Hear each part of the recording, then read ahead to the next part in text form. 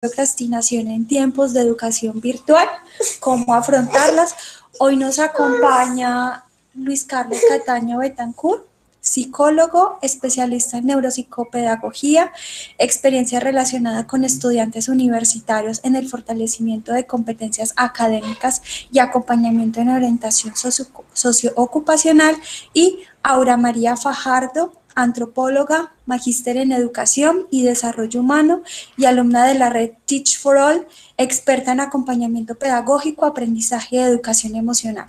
Cuatro años trabajando en el fortalecimiento de competencias académicas en educación superior, ambos profesionales de la dirección académica.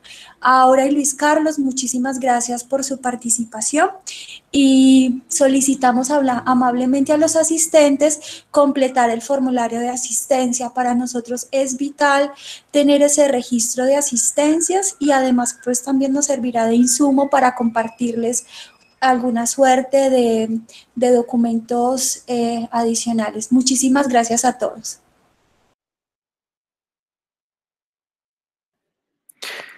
Buenas tardes a todos, ¿cómo están? Eh, me alegra saludarlos de nuevo y para aquellas personas que quizás se conecten por primera vez, mucho gusto. Mi nombre es Luis Carlos Cataño.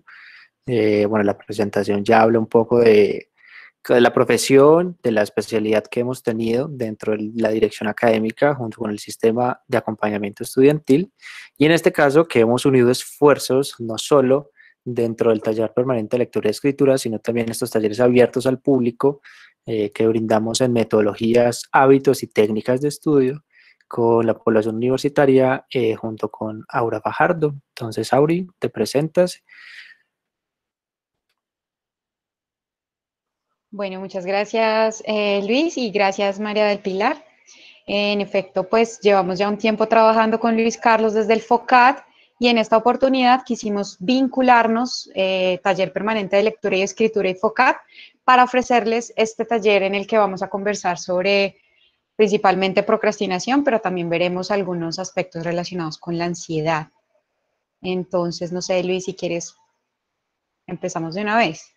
Dale, entonces mientras compartes eh, pantalla, vamos a empezar a abordar ambos conceptos. Bien, nos daremos cuenta que en un momento de la presentación si bien la procrastinación ya la vamos a definir y quizás algunos ya han escuchado eh, o tienen eh, sintomatología o algunas características que se relacionen directamente con la ansiedad, la idea es que nos podamos dar cuenta cómo si regulamos el tiempo eh, controlamos estas estrategias y técnicas que veremos al final, pero también intentamos identificar, regular y trabajar las emociones, pues nos daremos cuenta de que va a funcionar bastante, bastante bien. Por ende, la idea es que vamos a cumplir con cada una de las actividades que tenemos eh, programadas. Entonces, bueno, para empezar, vamos a revisar entonces la agenda. La agenda tiene que ver directamente con las temáticas que vamos a trabajar eh, la tarde de hoy.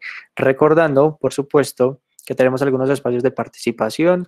Si tienen dudas o inquietudes, por favor, las pueden hacer levantando su manito o eh, dejándolas por el chat. En este caso vamos a estar súper pendientes para poder responderlas en los momentos que, en que tenemos establecidos, pero si nos enfocamos directamente en los temas, vamos a desarrollar el concepto, vamos a definir exactamente qué es procrastinación, cuáles vienen siendo sus principales características, cuáles son las causas y por ende qué hacer, no solo para distribuir mejor el tiempo, sino también para identificar y trabajar las emociones asociadas a, no sé, diagnósticos o simplemente con esta necesidad de, de crecer menos ansioso y cómo esto interviene directamente con eh, la planeación del tiempo. Bien, ahora puedes colocar por favor pantalla completa para que se vea un poco mejor la presentación. Eso es, muy bien. Siguiente, porfa. Muy bien, entonces vamos a empezar a definir procrastinación. Puede que algunos ya estén familiarizados con el tema, puede que otros quizás tengan otros sinónimos para hablar de la procrastinación. En este caso, si nos vamos pues como al origen de la palabra, dice delante de, en favor de. Para algunos mañana lo hago, para otros más tarde lo hago. Y técnicamente mm, nos daremos cuenta de que cuando procrastinamos es porque nosotros sabemos qué es lo que estamos haciendo, pero la característica una de las características mejor del hábito de la procrastinación es que intentamos cambiar, modificar, dejar de hacer por hacer otras cosas, aún sabiendo que lo estamos haciendo de manera irracional.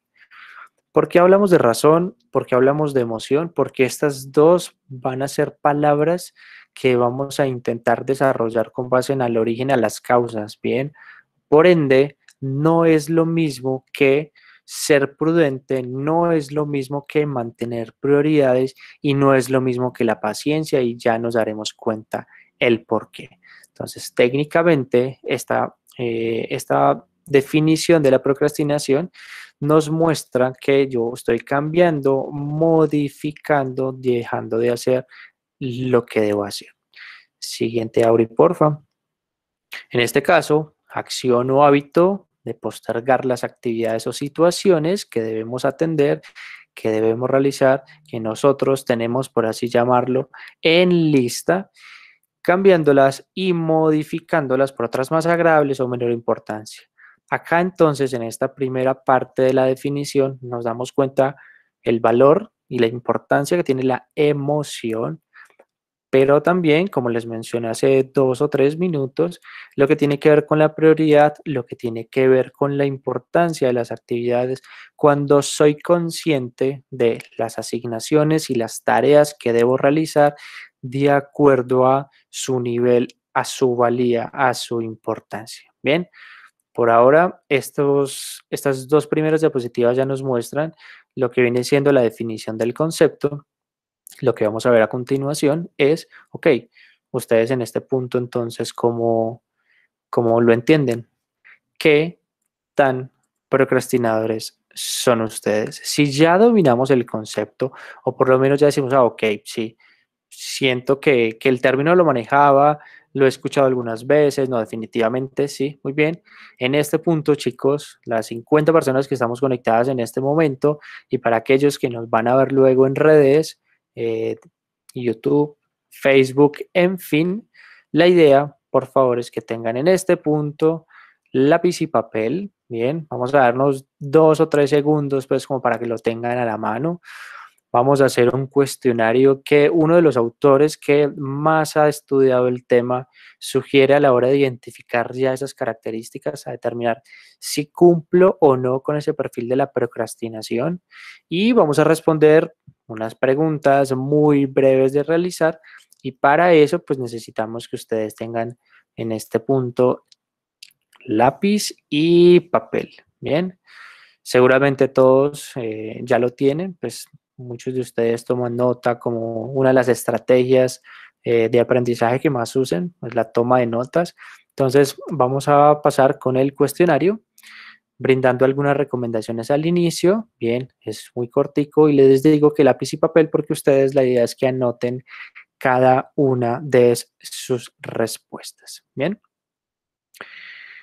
Aquí ahora nos está abriendo entonces el, cuestionario. Eh, a partir de ahí nos daremos cuenta, obviamente, que ustedes puedan consolidar eh, como la cantidad de, bueno, la sumatoria de, de las preguntas que ustedes tienen a la hora de, de socializar un poco esto. Entonces, bueno, vamos a mirar el cuestionario. Yo les voy leyendo una a una y a partir de ahí entonces ustedes van a responder. ¿Qué quiero que tengan presente? Hay por lo menos tres ítems que van a ir de la siguiente forma. Mejor dicho, la mayoría van a estar de 1 a 5, en donde 1 es nunca, 5 es siempre o casi siempre. ¿Eso qué quiere decir? Que como es un cuestionario de procrastinación, normalmente pues las características van a ir asociadas con ese concepto. ¿Qué quiero decirte? Que si, por ejemplo, en la pregunta número uno dice, pospongo lo que tengo que hacer más de lo razonable, ustedes piensen en ese valor de 1 a 5 o en esa escala 1 nunca, 5 siempre, y ese valor lo van a anotar. Sea que ahí en la libretica que tienen colocan 1 del primer ítem, raya el valor de 1 a 5. Si se dan cuenta, la pregunta 2, la pregunta 5 y la pregunta 8 ya no está de 1 a 5, está al revés, es como si fuera una contrapregunta o está redactada en negativo para nosotros los psicólogos. No pasa nada, como está redactado en negativo o en positivo, simplemente tengan presente en esa misma escala de 1 a 5, de nunca a siempre, cuál viene siendo el puntaje y lo anotan. Para el caso de la pregunta 1, que ya lo dije, dice 1, pospongo lo que tengo que hacer más de lo razonable, de 1 a 5, van a anotar el valor. Para la pregunta 2, lo hago todo cuando creo que hay que hacerlo. Pregunta 3. Me lamento de no haber hecho antes lo que hay que hacer. Pregunta 4. Hay aspectos de mi vida que dejo para otro momento, aunque sé que no debería hacerlo. Pregunta número 5. Si tengo que hacer algo, ¿lo hago antes de encargarme de tareas menores?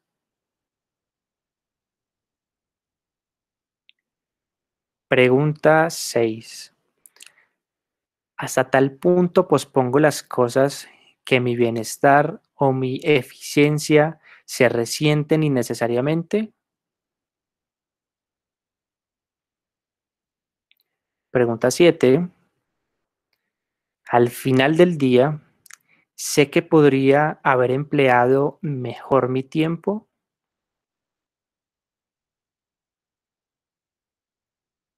Pregunta 8. ¿Empleo el tiempo sabiamente?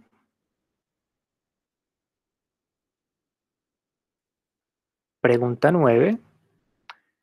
Cuando debería estar haciendo una cosa, ¿me pongo a hacer otra?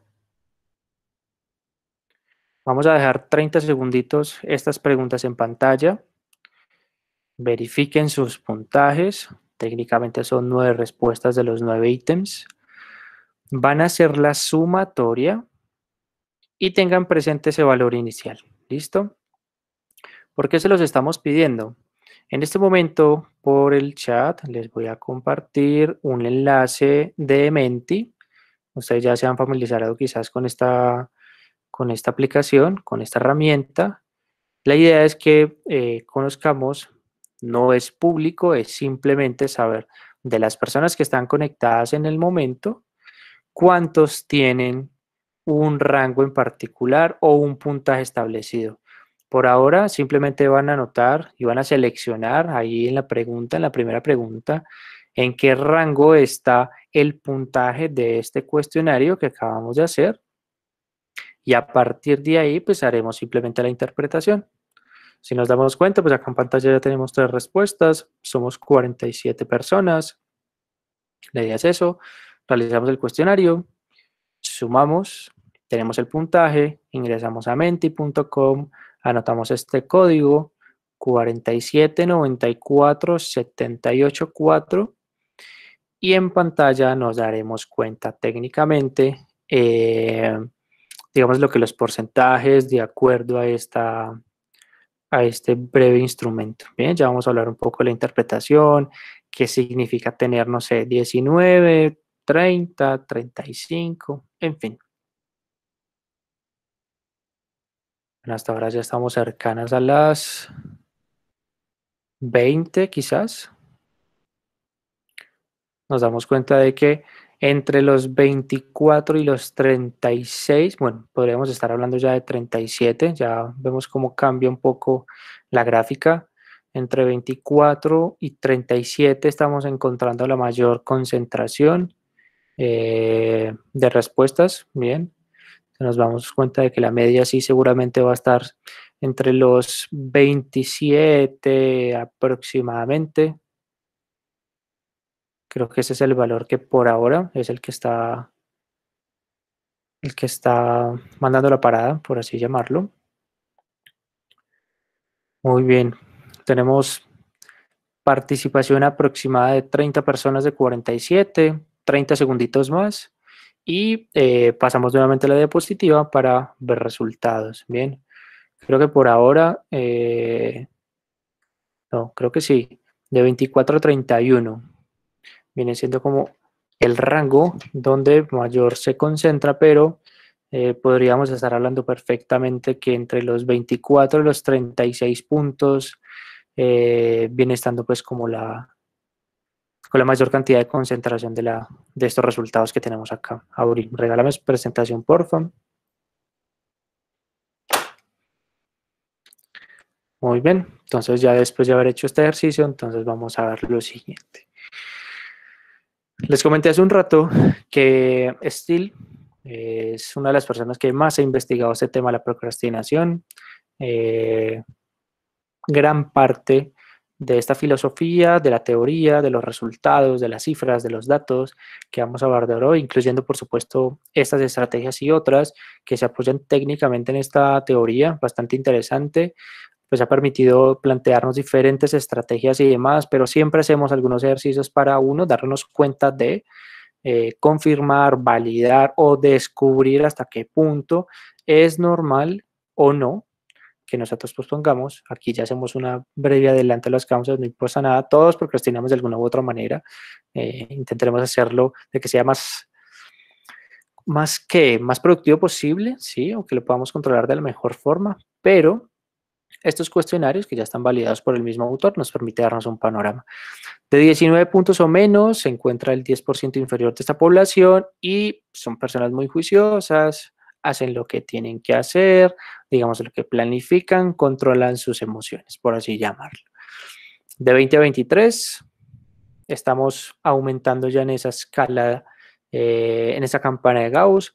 El 50% de la población se encuentra entre los 24 y los 31 puntos, procrastinador mediano. Este de alguna u otra forma también confirma lo que estamos hablando y es que se encuentra la mayor cantidad de personas. Bien, eso sí, a partir de esos 32 puntos en adelante, ya empiezan quizás las excusas, empiezan estos pensamientos, eh, hay algunas dificultades aparentes de que predomina la tentación y no logro controlarla y por ende suspendo, a plazo o cambio unas actividades por otras que me generen más placer, motivación y demás y normalmente aparece la excusa, el pensamiento irracional, como lo mencionamos ahora, más tarde, mañana lo hago, no me gusta, no entiendo, en fin. O sea que estamos yendo quizás en línea con lo que dicen las investigaciones y es justamente eh, las estrategias que vamos a plantear a continuación. Entonces, si ya nos damos cuenta en qué características y cuáles rasgos comparto, entonces podemos entender mucho mejor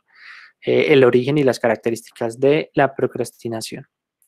Auri, siguiente, porfa. Hablamos de algunos datos. Ya algunos estudios en el 2007 nos muestran que alrededor del 95% de las personas admite que procrastina. Es un buen primer paso. Reconocer que, hombre, sí, pospongo. Hay algunas veces que, que lo hago con o sin sentido, con o sin motivo, por prioridad, por paciencia, por la razón que sea. El 95% de las personas eh, lo admite, salvo que una cuarta parte de ese 95% sí ya está en una característica crónica. Si lo pensamos en los puntajes, pues esperaría uno que fueran de esos 32 en adelante. Otras cifras también nos muestran que procrastinan más las, los hombres que las mujeres.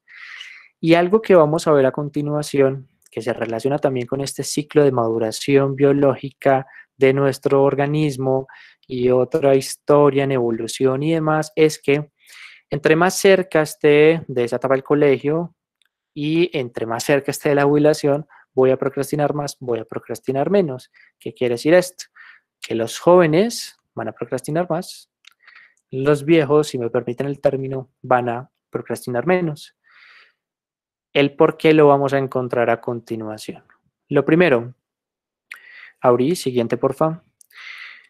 Vamos a ver, aunque eh, esto puede sonar muy, muy específico, muy técnico, muy teórico, es muy importante reconocer de que nuestro cerebro tiene unos periodos de maduración. Bien, en la medida en que crecemos y hasta X edad en particular, se sabe que existen unas funciones cognitivas que están ahí terminando de madurar, o sea que la conexión entre esas neuronas y el funcionamiento de esos procesos cognitivos funcionan, comillas, como debería, aunque esta palabra normalidad no se usa técnicamente en estos espacios, pero sí se espera unos momentos específicos para madurar unos procesos en particular. ¿Qué pasa acá? Las investigaciones al respecto de la procrastinación nos muestran de que nosotros estamos hechos para procrastinar, venimos con ese defecto en la fábrica, por así llamarlo, y sobre todo por este avance en la tecnología y por este avance que ha tenido, eh, sí, la tecnología es uno de los grandes factores, que ahora tenemos mil y un distractores. Esto es lo que sucede, pero también es producto del funcionamiento que tiene nuestro cerebro. Lo primero es el sistema límbico. El sistema límbico es un conjunto de estructuras que ya vamos a ver que se encarga o le gusta, por así llamarlo, mantenernos en el aquí y en el ahora.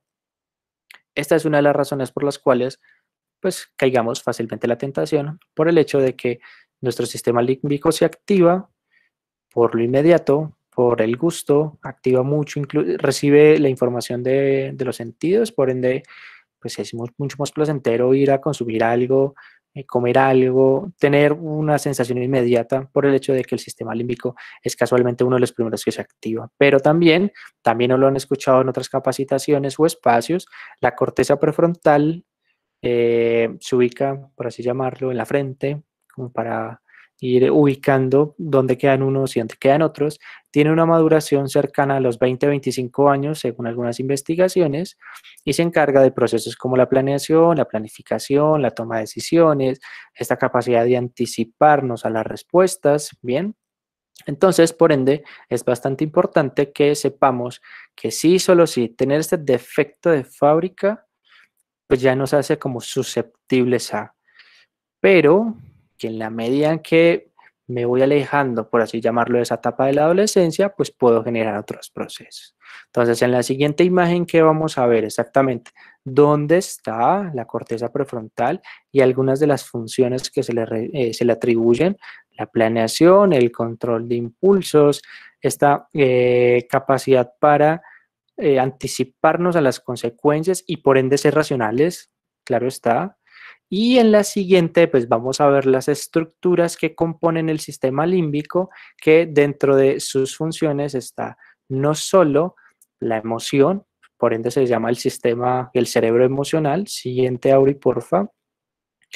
Lo que tiene que ver con la sexualidad, con el control de impulsos, pero más de las, desde las características fisiológicas y sobre todo la regulación de todo lo que tiene que ver con la emoción. En este punto es donde encontramos relación con la famosa palabra dos puntos, ansiedad.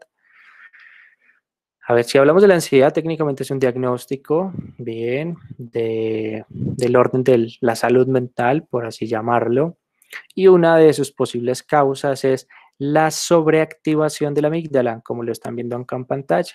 ¿Qué pasa con la amígdala? La amígdala hace parte del sistema límbico y es la encargada de procesar el miedo.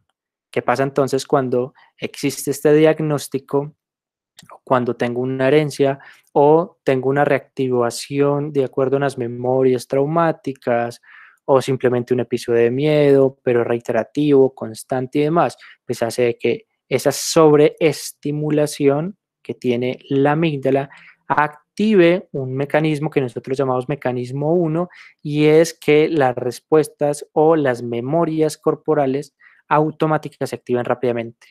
¿Qué quiere decir esto? En palabras eh, de nosotros, pues, eh, que activamos el modo supervivencia. Activar el modo supervivencia normalmente es salir corriendo, bien, huir o, eh, digámoslo, atacar. Entonces, eso está bien, nuestro organismo está preparado para esto porque pensemos en la segunda vía, que es la que se activa en la corteza prefrontal. Si es más pausada, si es más lenta, si es más desde la razón, pues si viene una emergencia o estoy en una situación que necesite actuar, no debo pensar, sino que simplemente ya vengo predispuesto para. O sea, el estrés técnicamente, no es malo, es solo que no sabemos regular las emociones y por ende, pues esa emoción lo que hace es convertirnos en un estado emocional y a las semanas o meses ya hablar de un diagnóstico como lo puede ser la ansiedad. Eso viene siendo lo más importante. ¿Por qué? Siguiente, Auri. La historia lo que nos ha mostrado es que Eh, regálame la siguiente y ya me devuelvo a esta, porfa. La, donde está la devolución. Conecto las dos ideas. Muy bien. La historia, lo que nos ha mostrado, como ya les mencioné, si pensamos en muchos años de historia atrás, lo que pasaba era lo siguiente, o sea, yo no tenía la facultad de decir, ok, tengo frío, ¿qué me pongo a hacer? No, yo debo buscar los mecanismos de supervivencia para actuar de manera rápida, de manera impulsiva y no tenía esa predisposición para estar pensando, analizando, planeando y demás. Este viene siendo una de las causas justamente de la procrastinación y es que esa manera de pensar pues siempre ha estado con nosotros, pensar en el sentido de actuar desde el sistema límbico, ¿bien? ¿Por qué empieza a desarrollarse eh, el lóbulo o la corteza prefrontal? Gracias a la agricultura, gracias a todo lo que tiene que ver con eh, los tiempos de la cosecha, eh, cultivos y demás, porque claramente necesitaba tiempo, las cosas no surgían de un día a otro, necesitaba esperar, necesitaba aprovechar los ciclos de la luna, que el sol, que una cosa y la otra, y esto a su vez dio origen a esta corteza, a este lóbulo frontal, y pues por ende ya tengamos ahora esta capacidad para eh, tomar mejores decisiones, por así llamarlo, para esperar, para ser un poco pacientes y demás, pero ya mencionamos hace un rato que esta maduración completa va entre los 20 y los 25 años aproximadamente. Ahora, ahora sí, qué pena cambiar ahí el orden. Vámonos a las características para ir cerrando esta descripción de eh, la procrastinación. Como lo mencionamos hace un rato, todos procrastinamos de alguna u otra manera, ya entendemos el por qué. Y lo interesante es que algunos autores plantean de que esto es como una especie de rasgo de personalidad. Los rasgos de personalidad normalmente se evidencian no solo en uno, en dos o en tres o más contextos, y otras investigaciones nos mostraban que si yo procrastino en la vida académica, dejo para mañana sacar las copias eh, para el parcial o estudiar para el parcial o mañana pido la monitoría y mañana, mañana, mañana, pues se supone y se espera también que suceda en otras actividades y en otros contextos como la vida personal, el manejo del dinero, las compras, la vida sedentaria y otros escenarios más. Bien, entonces esto por un lado. Todos procrastinamos de alguna u otra manera y se espera también de que sean varios contextos. Segunda característica, Auri, porfa, es multidimensional. Ya encontramos un poco el origen y estos factores que están implicados, los fisiológicos que ya los explicamos, cómo el fisiológico a su vez está conectado con lo emocional, como ya lo hablamos, la amígdala, sistema límbico y todo este procesamiento y el manejo de las emociones conductuales y comportamentales. Eso quiere decir que si yo procrastino, es como si defiriera también eh, como el dolor o el sufrimiento, por así llamarlo. Entonces acá nos aparece un ejemplo. Es como incurrir una penalización en la tarjeta de crédito de las emociones. No hay que pagar ahora, pero cuando llegue el saldo total, quizás en 15 o 20 días, en la fecha de entrega, el día antes, ahí es donde técnicamente nos va a pasar la factura. Y el tercero tiene que ver sí y solo sí con la impulsividad. Impulsividad, dos puntos, sistema límbico, dos puntos, ahora mismo, aquí y ahora.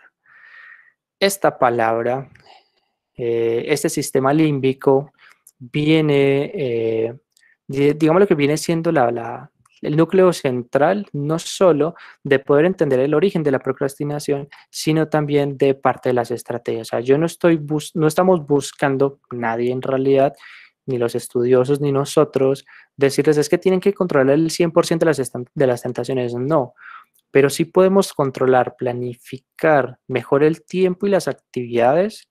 Y dos, pues sí podemos realizar algunos otros ajustes con la intención de que eh, digamos, lo que no sea tan evidente y no caiga, por así llamarlo, tan rápido en las diferentes tentaciones, distracciones, en fin, eso viene siendo la clave. Por ende, la impulsividad hace de que seamos desorganizados, tengamos otras cosas por las cuales atender, el perro, el gato, eh, la multitarea, normalmente, otra de las características también acá, queremos atender a todo por qué es urgente, por qué surge, resulta que no, y hace, por supuesto, de que vaya a tener algunas dificultades en el cumplimiento de nuestras actividades, de que pueda ser estructurado, de que pueda ser metódico, en fin.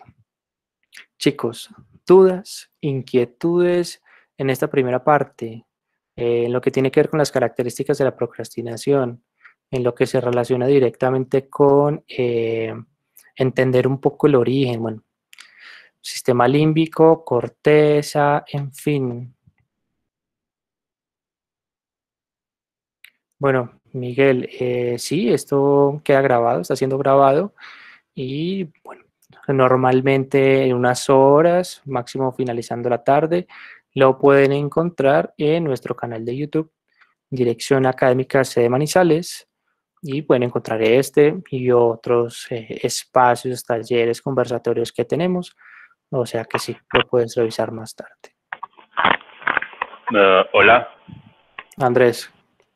Muy buenas tardes, Luis. ¿Cómo va a ser? Bueno, muy bien. Uh, tengo una pregunta. Si lo analizamos en cuanto a lo genético, también podríamos eh, decir que lo cultural también influye en la procrastinación.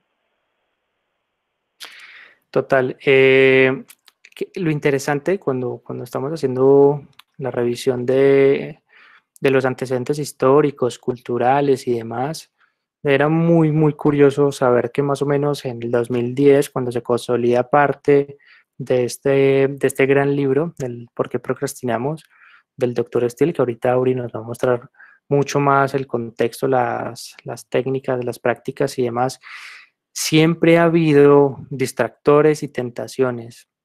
¿Cuál es la, qué es lo curioso? En ese entonces se veían grandes cifras porque la gente se conectaba, por ejemplo, a magazine y a shows que pasaban por televisión. Apenas estaba entrando en auge Facebook y otras aplicaciones o redes sociales. Y hacía, por supuesto, de que los jóvenes pues tuvieran mayores eh, condiciones, características, tentaciones y por ende, pues cayeran fácilmente en ellas. Si eso lo estamos hablando hace 10 años atrás, bien, y donde ahora tenemos una, varias, muchísimas tentaciones, redes sociales, eh, la inmediatez, la tecnología, donde el rápido el acceso a la información está y bueno, y otras características más hace de que esta parte cultural asociada a lo genético, asociado a esta parte biológica, asociado a lo emocional, todo contribuya de alguna u otra forma para que nuestro sistema límbico esté siempre activo, por supuesto, en ese modo de respuesta número uno rápido, como les mencioné hace un rato, y hace, por supuesto, de que ese mecanismo 2, planeación, organización y toda esta capacidad más lógica, más razón, más analítica, pues digamos lo que no se active como debería. Bien, entonces obviamente términos culturales, políticos y el costo económico y también incluso que esto tiene en, el orden de la productividad, pues hace que todo juegue un papel fundamental. Entonces, gracias por tu pregunta. Claramente la parte cultural tiene toda la explicación e injerencia, digamos, lo que técnicamente en este tema en particular, que como les mencionaba al inicio, puede que muchos escuchemos el término procrastinación, pero eh, no sabemos hasta qué punto pues todos lo dominemos, entendemos el origen y por ende pues apliquemos las diferentes técnicas que ya nuestra compañera Aura María Fajardo nos va a contar. Auri. Bueno, Luchi, muchas gracias por darme el paso y muchas gracias como por darnos ese contexto teórico o esas pautas iniciales para comenzar a comprender este fenómeno de la procrastinación y ahora sí poder pasar a las estrategias. Eh, para resolverle la pregunta a Sofía, que justo nos acaba de preguntar cómo hacer para controlar la, la impulsividad. Entonces ya vamos para allá. Pero antes de llegar al punto de responderle a Sofía, vamos a preguntar a todos nuestros participantes, vamos a hacer un ejercicio con ustedes. Este ejercicio es metacognitivo, es decir, les vamos a ayudarlo, vamos a ayudarles a ayudarles. Van a ver ya de qué se trata. Entonces, eh, nuevamente los invitamos a menti.com. Vuelvan a digitar el código, pero esta vez vamos a responder a la segunda pregunta que les traemos eh, aquí en el, en el Menti. Listo, entonces ya se los voy a mostrar. Mm. Acá por el chat les volví a compartir enlace Menti.com, código 4794784. Listo. Y, ay, perdón. Listo. Esta es la pregunta que ahora los invitamos a responder.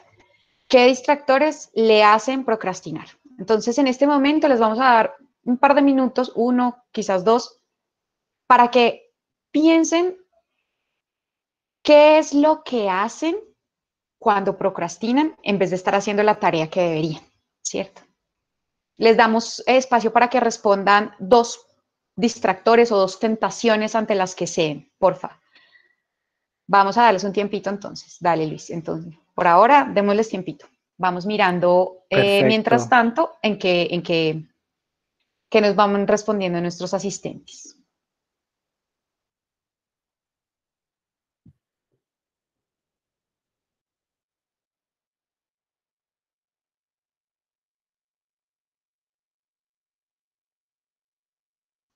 Entonces vamos viendo, hasta ahora van 10 respuestas, pero con esas 10 respuestas ya podemos ver que celular, redes sociales, Netflix, justo lo que estaba hablando Luis Carlos hace un momento, está entre las tentaciones a las que cedemos cuando de no hacer lo que deberíamos hacer se trata.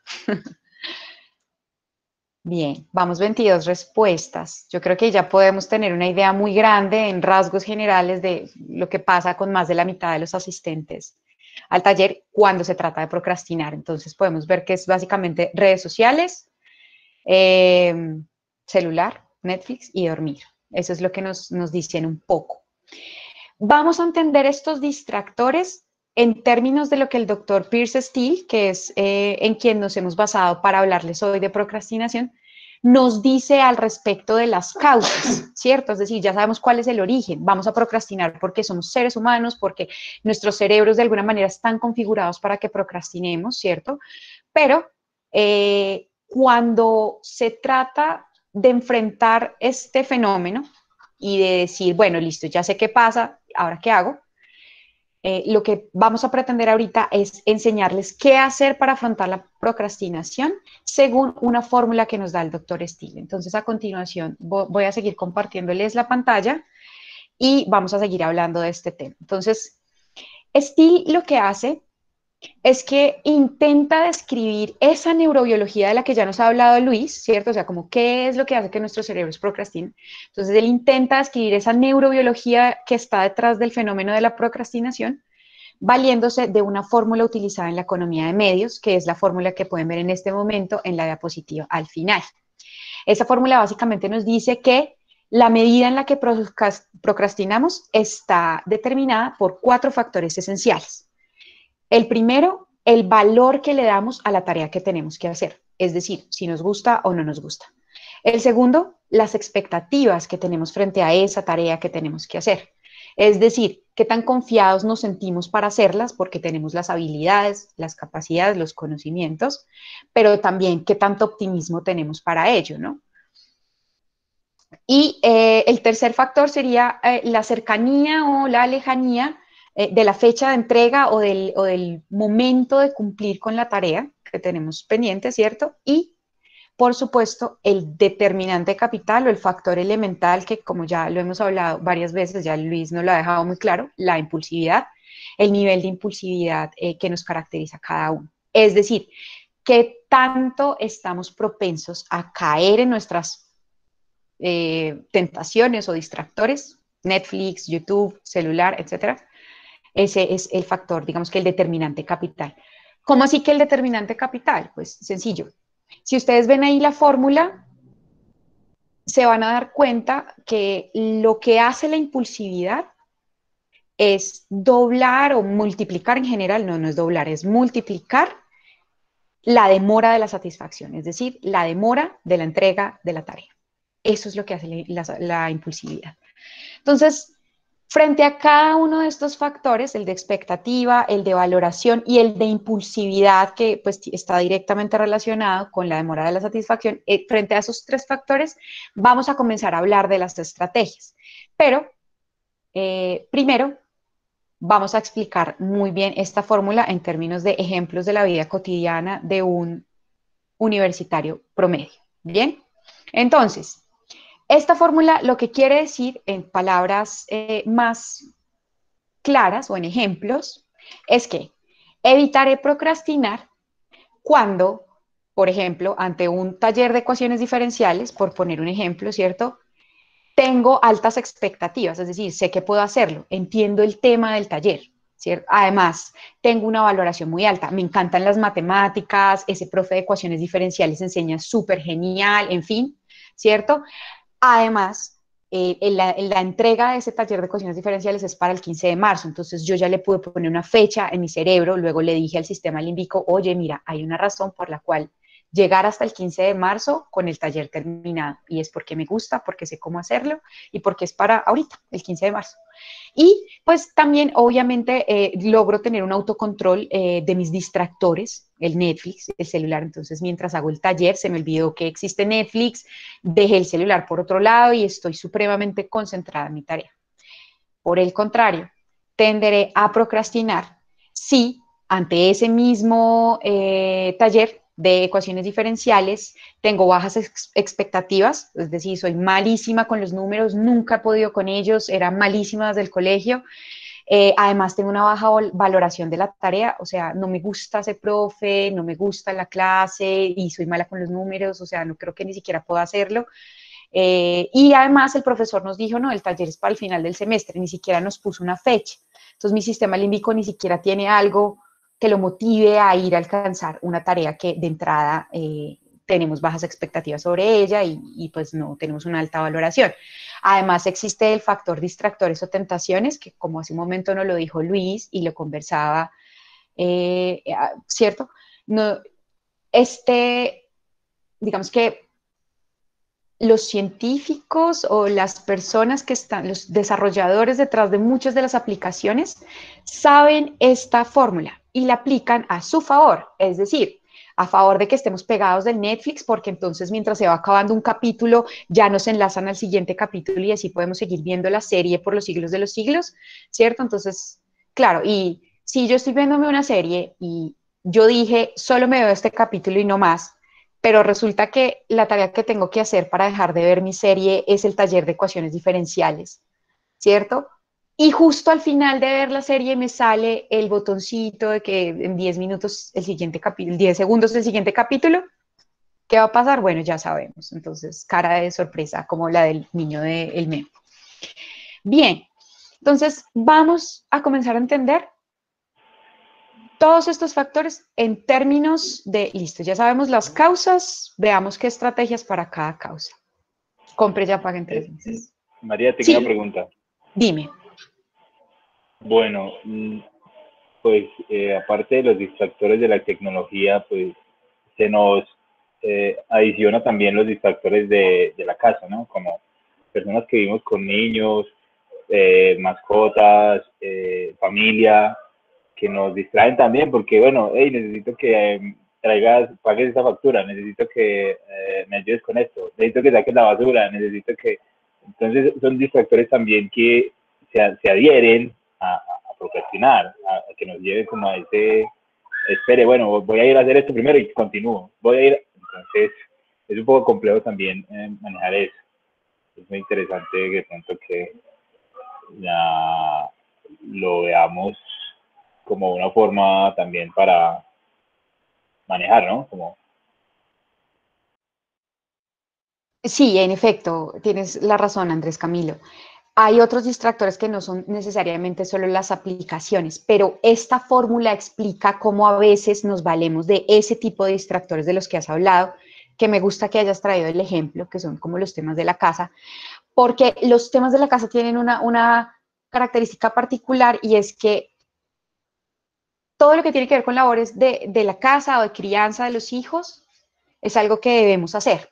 Pero muchas veces cuando, por ejemplo, tenemos bajas expectativas frente a la tarea que debemos hacer, el taller de ecuaciones diferenciales, ¿cierto? Y además tenemos baja valoración y además tenemos hijos, perros y las labores domésticas, pues por supuesto vamos a tener la excusa perfecta para decir, no, y además de todo eso, yo, ¿a qué, ¿en qué momento me voy a poner a hacer ese taller? No, además es para fin de semestre, espere, yo primero voy, saco al perro, pago la factura, me encargo eh, de la niña, en fin. ¿Cierto? Pero entonces ya vamos a ver cómo puedes, eh, digamos que, equilibrar estos em, distractores que has mencionado. Continuemos entonces. Bien.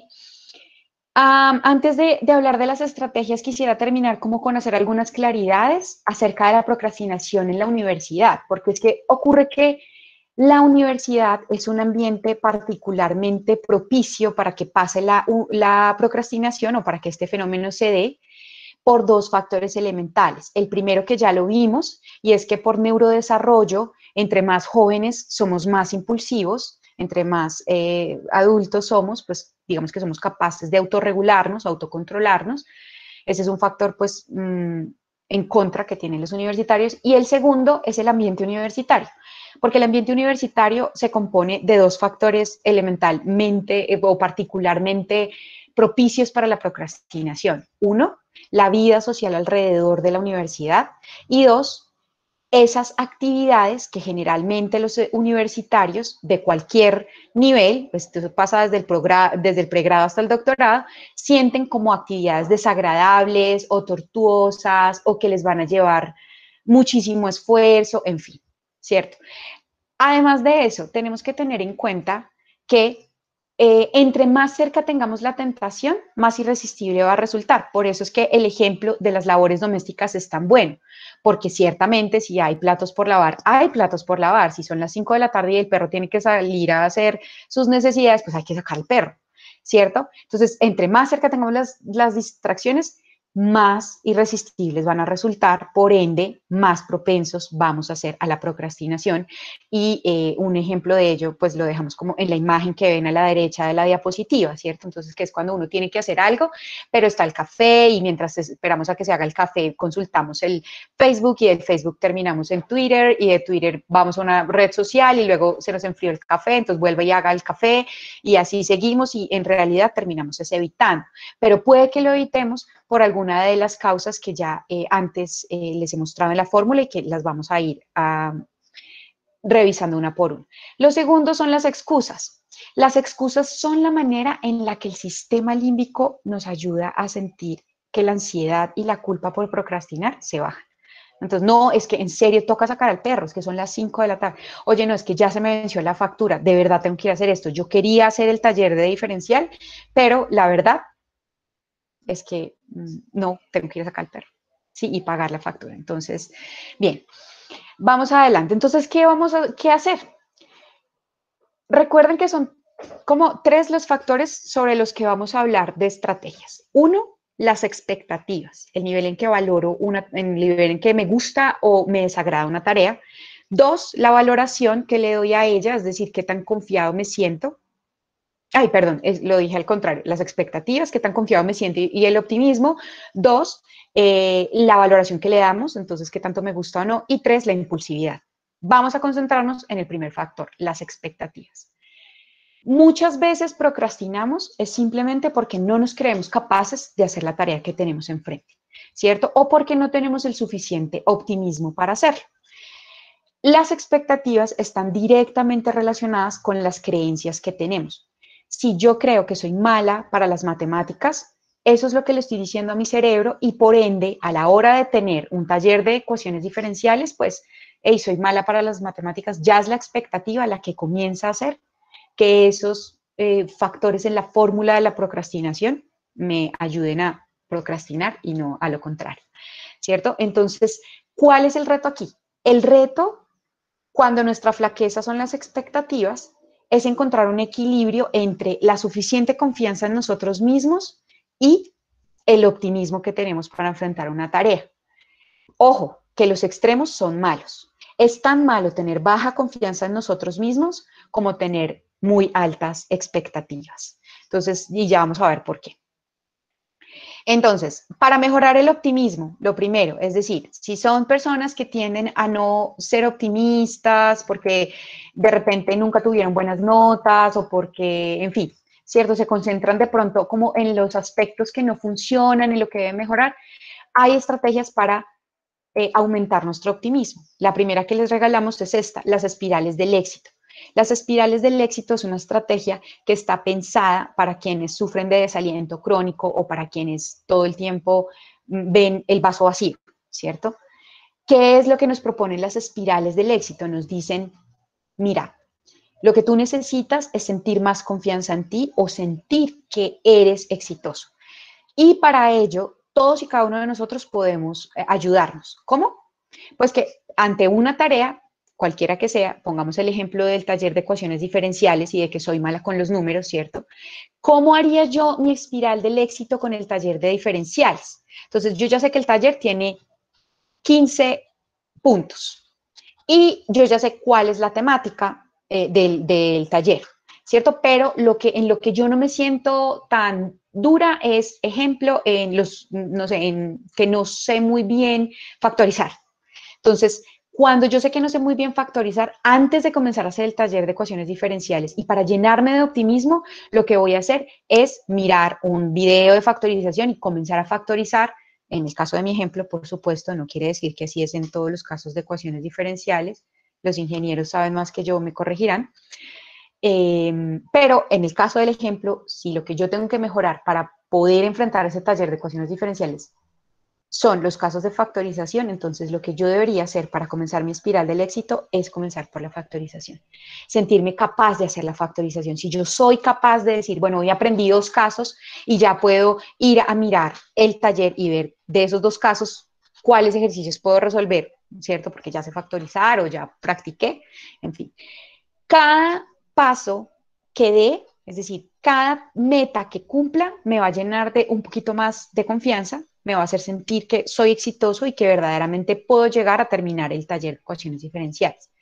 Pero además, eh, eh, bueno, así sucesivamente, si yo me pongo metas una tras otra, metas alcanzables, pero que a su vez sean retadoras, ¿cierto?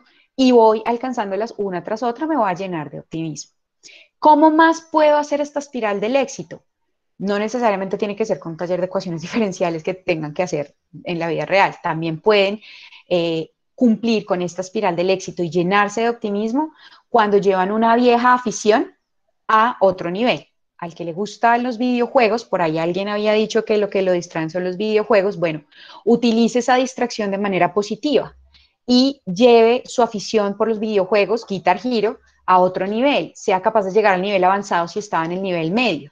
Esa es una forma de llenarse de optimismo. Desarrolle una nueva destreza. Le encanta la fotografía y lleva mucho tiempo procrastinando el empezar la fotografía, haga lo que de pronto eso le va a ayudar a ser menos procrastinador porque se va a llenar de más optimismo y va a sentir que es posible. Bien, Segunda estrategia para mejorar el, optimismo, las victorias vicarias. ¿Esto qué es? Es inspirarnos de los otros. Recordemos que somos animales sociales y que tenemos neuronas espejo, es decir, neuronas que nos ayudan a hacer lo que el otro. Por eso cuando yo bostezo, otro puede bostezar y todos bostezamos, en fin. Use esas neuronas espejos a su favor.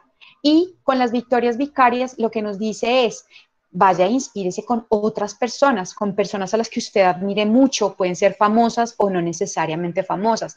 Mire películas inspiradoras o personajes que diga uno de verdad que salieron de la nada y mire todo lo que lograron. Son formas de llenarnos de optimismo. También sirve cuando, cuando creamos un grupo de apoyo, ¿cierto? Entonces sabemos que somos varios a los que nos cuesta ecuaciones diferenciales. Yo ya conozco dos o tres compañeros, pues venga, hacemos un grupo de apoyo y entre los tres nos fortalecemos. Bien. Tercera estrategia para fortalecer el, optimismo. Eh, técnica del contraste mental. Y ojo acá, es diferente la técnica del contraste mental a la técnica de la visualización creativa. La visualización creativa es solo el primer paso de esta técnica del contraste mental. ¿Qué nos dice esta técnica? Nos dice, bueno, lo primero que tiene que hacer es la visualización creativa. Imagínese logrando eso que quiere lograr. Imagínese entregando el taller de ecuaciones diferenciales. Imagínese, imagínese en una situación positiva y sea tan detallista con esa situación como que si fuera ya real. Eso va a estimular igualmente sus neuronas espejo, así como en victorias vicarias, la anterior estrategia. Y le va a hacer sentir un poco de optimismo, pero además, espere, ese es el primer paso, ya hizo la visualización. Luego de esa visualización tan detallada como sea posible, en donde se llena de optimismo, sus neuronas espejo dicen, uy, yo quiero llegar hasta allá. mire dónde está hoy, ¿cierto? Entonces, compare la situación ideal con la situación actual. Y ya con las dos situaciones, la ideal y la actual, trate de establecer el puente o esos pasos o ese camino que debe, mm, valga la redundancia, caminar o, transitar hasta llegar a cumplir esa eh, visualización que hizo, ¿no? Esa, esa forma en la que se imaginó logrando algo. Bien, hasta aquí hablamos de las técnicas para mejorar el optimismo. Ahora vamos a ver, listo, cuando no se trata de que me falta optimismo, sino de que me sobra eh, la confianza. Ah, no, taller de ecuaciones diferenciales y yo con lo buena que soy para los números, no, y para el 15 de marzo, eso lo hago, eso lo puedo hacer el 10. Y entonces, ¿qué es lo que pasa?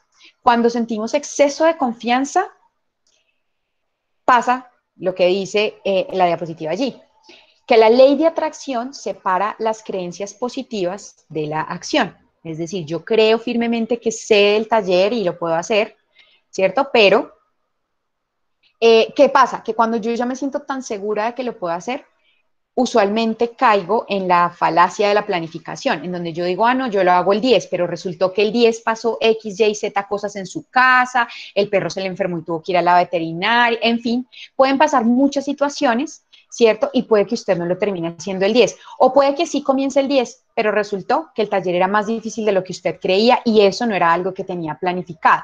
Luego, eso le puede hacer perder tiempo y pueda que termine procrastin eh, pues termine fallando la tarea simplemente por exceso de confianza. Entonces, ¿qué es lo que podemos hacer para el exceso de confianza? Aplicar el principio de realidad, ¿cierto? Enfrentémonos a la realidad que tenemos enfrente.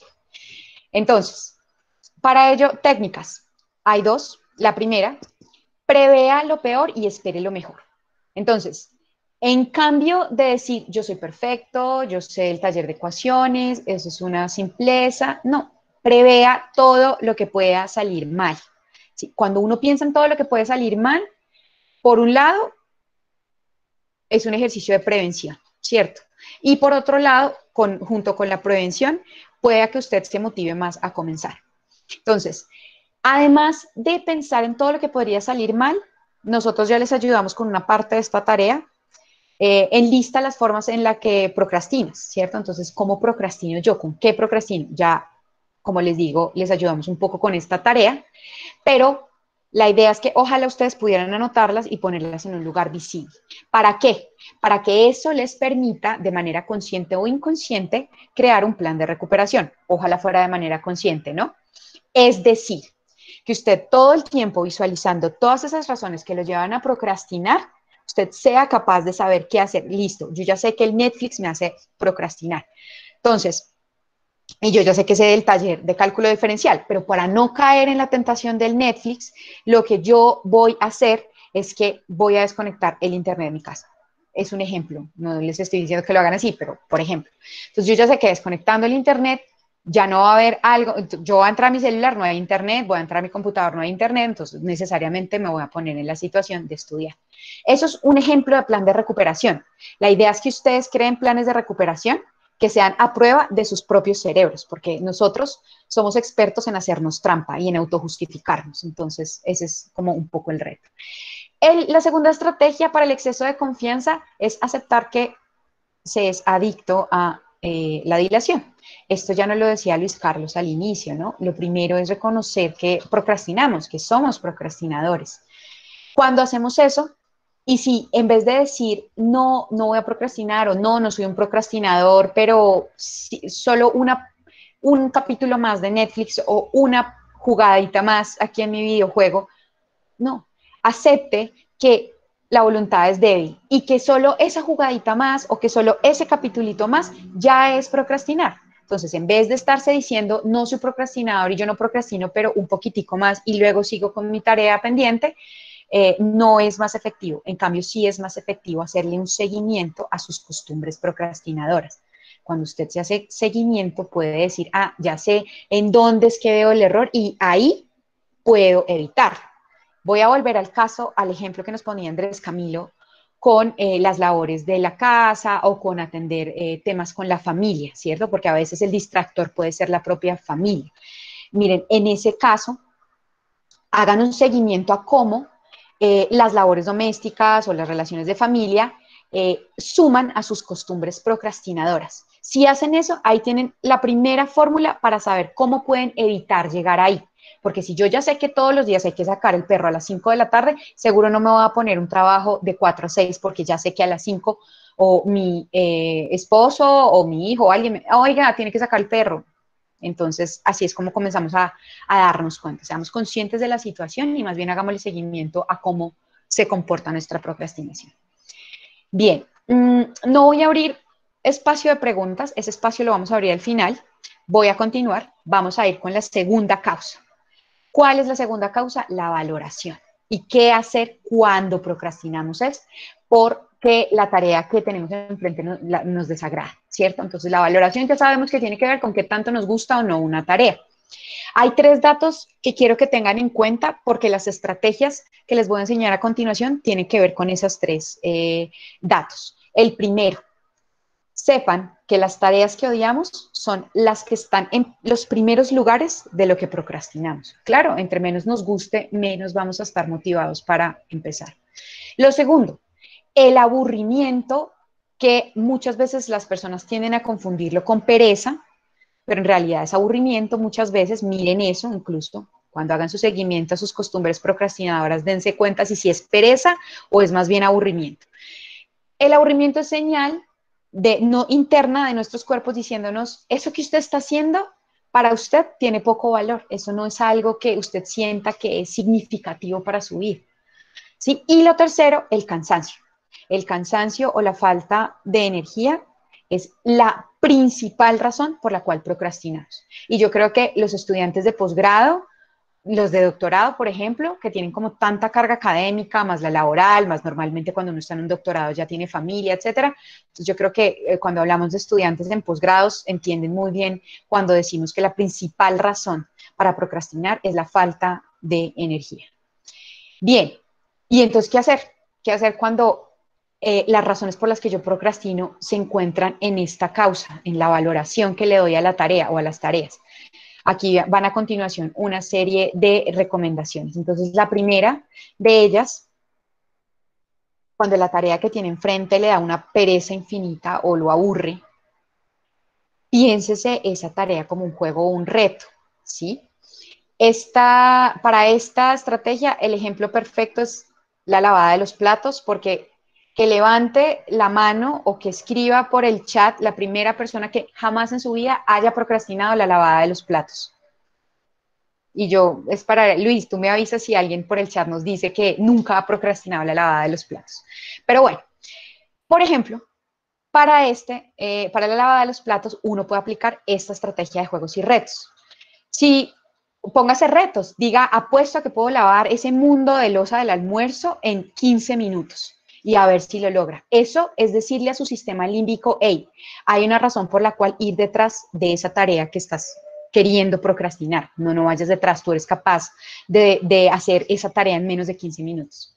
Pónganse juegos y retos, eso es. La segunda estrategia, hagan metas con significados. ¿Cómo así hacer metas con significados? Es decir, trate de que esa tarea que intenta procrastinar esté relacionada o esté conectada con alguna meta suyo o con algún propósito suyo de largo plazo. Sí, yo sé que lavar los platos es horrible, es un tedio, porque además uno lava el plato y a los dos minutos ya hay más losa, ¿cierto? Pero, pero quizás si eh, tengo suficiente amor propio por mí y me gusta ver mi cocina limpia o el lugar o tal, si yo conecto esa lavada de los platos con el significado que tiene para el amor propio y para el aseo de mi casa, el lavar los platos, seguramente menos lo procrastinaré. Y eso se puede aplicar para cualquier otro eh, evento en nuestras vidas. Haga metas o propóngase metas de acercamiento en cambio de hacerse metas de evitación. Es decir, pare de decir, no voy a procrastinar más, porque ya sabemos que procrastinar es ubicuo, todos lo vamos a practicar. Es más motivador que usted se plantee metas del estilo, voy a empezar cuanto antes.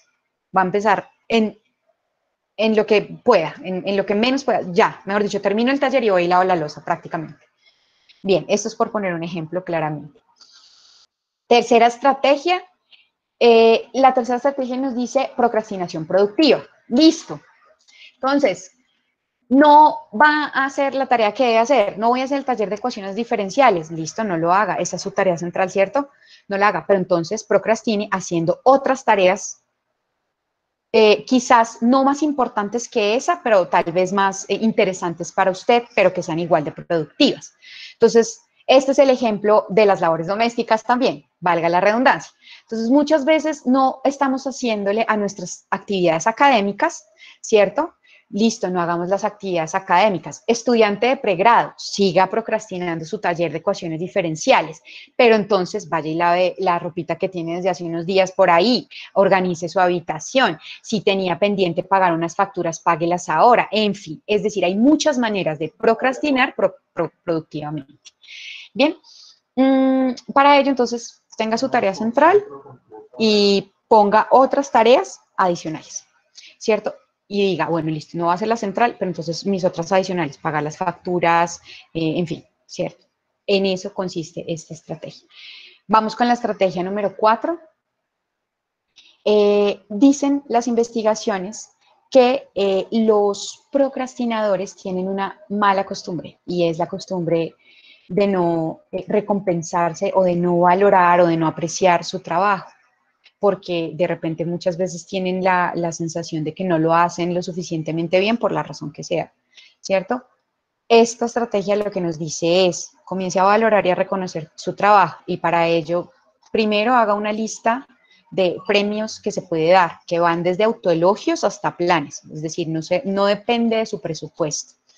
Depende de las cosas que a usted le hagan sentir que verdaderamente es un premio o un incentivo o un reconocimiento que usted mismo se hace o usted misma se hace, ¿cierto? Esos premios uno se los puede poner al final de alguna tarea que le parece un poco aburrida, ¿cierto? Entonces, ejemplo, hago un, me dedico media hora a hacer el taller de ecuaciones diferenciales y pasada la media hora veo un siguiente capítulo de mi serie en Netflix, ¿cierto? Lo otro que puede hacer, si eso no le funciona a usted tanto, es pensar cómo puede hacer que la tarea le resulte más agradable, un poco al estilo de los juegos y los retos, pero poniéndole como gustico a la tarea, ¿no? Entonces, ah, me gusta estudiar con música, pues, y si eso lo va a motivar, ponga la música. Ah, bueno, voy a ir por un café y literal voy por un café y me siento a estudiar porque me gusta trabajar con café. Hágalo. Todo lo que haga que la tarea le resulte agradable, eso es lo que exactamente hay que hacer. Bien, y finalmente, cuando se trata de aburrimiento, la última estrategia que les damos eh, es que traten de que su pasión o de que lo que hacen coincida eh, con lo que les apasiona, ¿no? Que su pasión sea su vocación, que lo que hagan sea lo que les apasiona. Así no sienten que están estudiando, así no sienten que están trabajando, así no lo sienten como una carga, sino lo sienten como algo que les gusta, ¿no? Mm, Frente a este aspecto, recuerden que en la Universidad Nacional, desde hace varios años, si no estoy mal, Luis, corrígeme, 2016, tenemos... Es correcto. Bien, gracias. Eh, tenemos el servicio de tutorías en orientación socioocupacional. Bien, si usted siente que de pronto tiene dudas con la elección de carrera que hizo o de posgrado, aquí está el servicio y de pronto eso le podría ayudar a, repensar si pueda que usted esté procrastinando mucho es porque de repente está haciendo algo que no, que no lo conecta con sus metas a largo plazo, con sus significados en la vida, pues sus sentidos de vida. Bien, y bueno, hasta aquí vemos cuando se trata de aburrimiento o bueno, de cuando no nos motiva la tarea porque nos disgusta o porque, ajá, eh, nos parece tediosa. Ahora vamos a centrarnos en cuando falta la energía. Y para ello, lo primero es reconocer algunos factores. Lo primero, nosotros somos seres humanos, no robots. Luego, la energía de nuestros cuerpos son limitadas, ¿sí? Son un recurso limitado y renovable, renovable cada que tenemos un buen descanso o un buen sueño. Entonces, y además, para evitar procrastinar, tenemos que ejercer la voluntad y ejercer la voluntad gasta energías, porque para sobreponerse a una tentación tan grande como una tarde de la serie favorita versus un taller de diferencial, hay que tener bastante voluntad, ¿cierto? O versus la tarea que estamos procrastinando. Entonces, unos datos curiosos para que lo sepan. el cansancio incrementa el disgusto o el aburrimiento o el tedio que tenemos ante las tareas que debemos hacer. Promueve que nos sintamos desinteresados, claro, porque lo único que nos interesaría es descansar. Y hace que lo difícil se vea mucho más difícil. Bien. Entonces, ¿qué hacer cuando se trata de las faltas de energía? Eh, lo que les recomendamos, además de que comiencen por reconocer eso, nuestra energía es limitada, eh, lo segundo que les invitamos es a, que eh, conozcan su ciclo circadiano, es decir, eh, sus, si son más activos en la noche o más activos en la mañana. Son alondras que se despiertan desde las 3 de la mañana y es ahora su mayor tiempo de productividad, o son búhos que a las 10 de la noche sienten que llegaron sus ideas y que pueden hacer y deshacer. No importa si usted está de un lado o del otro, lo importante es que reconociendo cuáles son sus tiempos de mayor energía, los aproveche para hacer esas tareas que le requieren o le demandan mayor energía. Entonces, listo. Si es alondra o búho, es importante que lo sepa, es decir, si es matutino o si es nocturno. Y lo segundo, tengan en cuenta que de tres a cuatro horas después de haber despertado, es el momento de mayor productividad, es cuando nuestros cerebros están mucho más eh, disponibles, atentos, receptivos, se sienten en mucha mayor capacidad de pues, enfrentar lo que debamos enfrentar. Listo. Una advertencia final aquí y es que no todo lo que brilla es oro. Muchas veces cuando estamos estresados o cuando estamos, eh, cuando sentimos mucha presión encima, creemos que reducir la actividad física y el sueño va a ser mucho mejor Em, y, la podemos reemplazar con comida y estimulantes como el café o el Red Bull, ¿no? Eh, hacer esto efectivamente a corto plazo sí es una buena estrategia porque si yo tomo café para trasnocharme, eh, de repente sí la voy a lograr y me voy a trasnochar, pero a largo plazo no es bueno. No solo porque a largo plazo, mm, digamos que trasnochar a largo plazo, por ejemplo, trasnochar sostenido en el tiempo puede tener afectaciones o puede incrementar el deterioro o el envejecimiento de su cerebro más rápido, pero también porque no, digamos que no son eh, costumbres o hábitos energéticos saludables. Bien, entonces esto es solo para que lo tengan ahí. Vamos a hablar de lo que finalmente ahora eh, Sofía nos preguntaba, listo, ¿y qué hacer si yo soy muy impulsivo?